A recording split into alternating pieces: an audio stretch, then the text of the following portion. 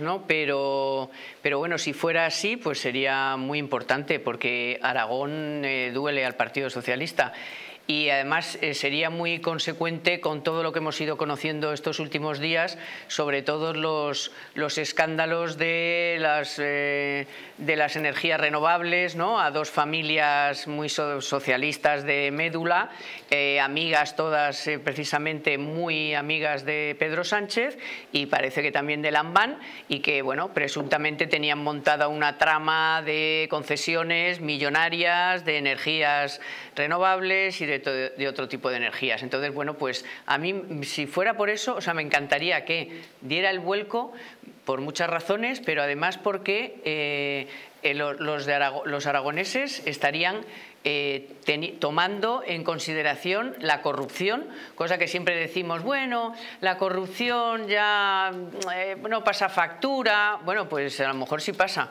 ¿eh? y, a lo mejor pasa en lugares donde hemos visto estos últimos, estos últimos días pues eh, eh, corrupción, corrupción con, mayúsculas. Y si en Aragón hay un vuelco, yo haría la lectura no solo de que Lambán es un melifluo que nunca ha dicho nada en contra de Sánchez, nada, hay cuatro palabritas de nada, no sé qué, pero luego se arrepiente, luego dice, no, si yo no he dicho eso, es el contexto, me han explicado mal. Allí delante de Sánchez fue incapaz de decir, muy al contrario de decir, oye, esto de Bildu es una, vergüenza, eh, ahí como, sí, pues ya, o sea, que se lo merece y además se lo merece por todo el escándalo de, de la corrupción, pero con mayúsculas socialista que se ha conocido por Libertad Digital en esa, en esa comunidad autónoma. Así que, por todas esas razones, Lambán debería de desaparecer eh, del mapa político, digo, de una vez por todas. Dejar de gobernar, efectivamente, y eso además le va a doler a Sánchez. Valencia y Aragón duelen.